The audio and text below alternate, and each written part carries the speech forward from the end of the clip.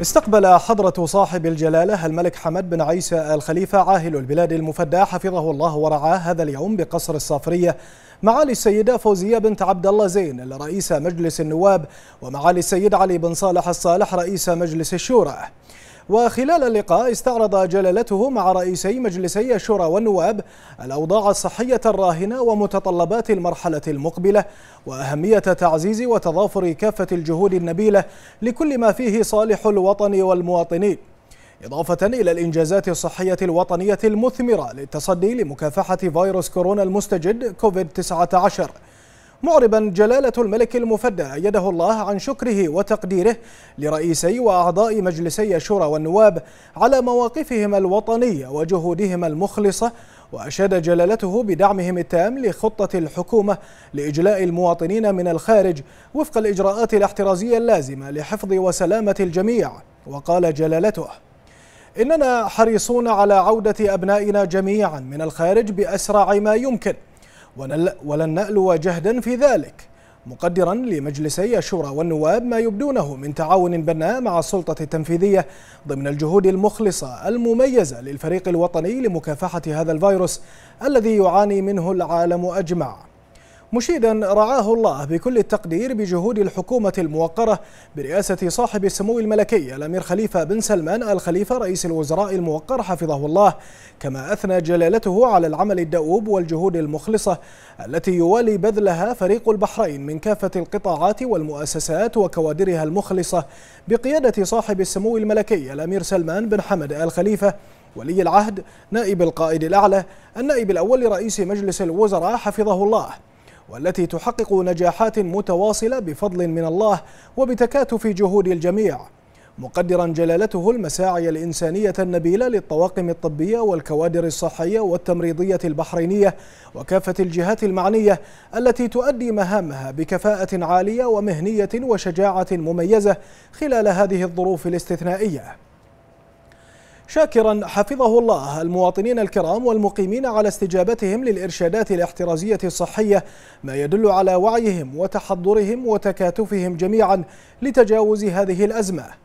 منوها أيده الله بأن تاريخنا الوطني سجل لأهل البحرين مواقف عظيمة وأمثلة في التكاتف والتعاضد مكنت البحرين من تخطي العديد من التحديات.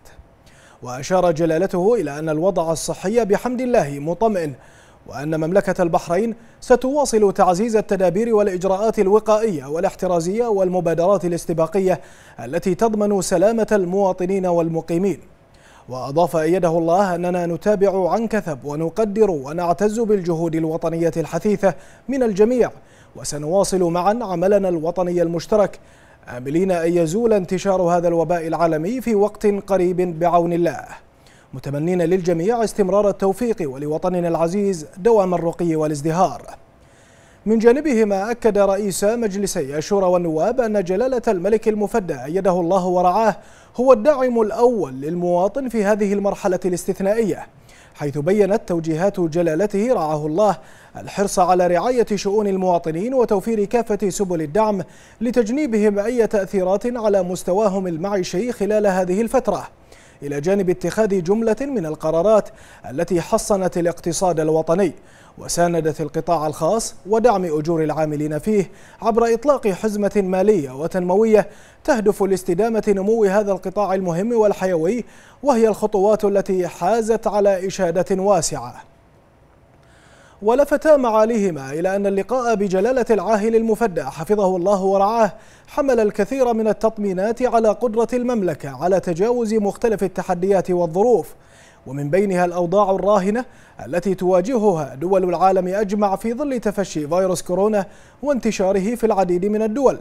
منوهين بالتوجيهات الإنسانية لجلالته ولفتته الكريمة للأسر المتضررة جراء التأثيرات السلبية لفيروس كورونا على الوضع الاقتصادي. حيث إن المواطن دائما وأبدا له الأولوية في فكر القيادة الحكيمة وفي كل خطة أو قرار يتم اتخاذه. فيما أكد معالي رئيسي المجلسين مساندة المجلسين لكافة الإجراءات والقرارات المتخذة لمواجهة التحديات على المستوى الصحي بالدرجة الأولى إلى جانب ما يتعلق بالاقتصاد الوطني.